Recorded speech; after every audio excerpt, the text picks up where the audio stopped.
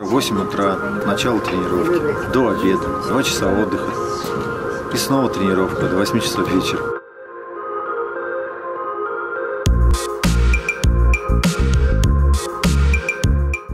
Я чемпионка мира по спортивной джигитовке 2021 года.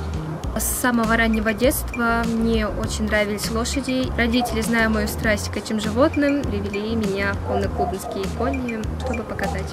Мне предложили заниматься джигитовкой. Были и падения, и даже такие мелкие травмы, но с каждой тренировкой получала все больше и больше.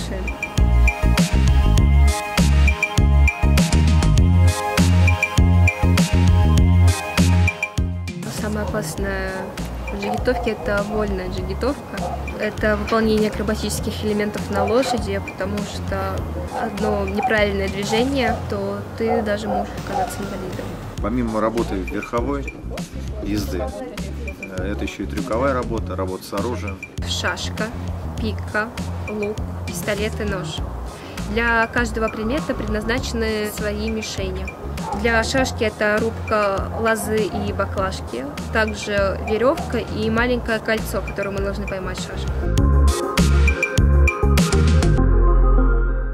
Наверное, на чемпионате мира было самым тяжелым это справиться со своим страхом, со своим волнением, справиться с самим собой. Когда жюри объявляют тебе старт, начинается мандраж, руки трясутся, ноги трясутся. Э, периодически ты даже можешь забыть свою программу, свои элементы.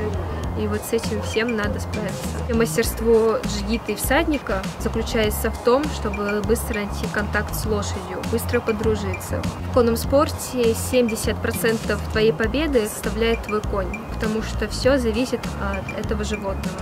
Как он пойдет, как он себя поведет в той или иной ситуации.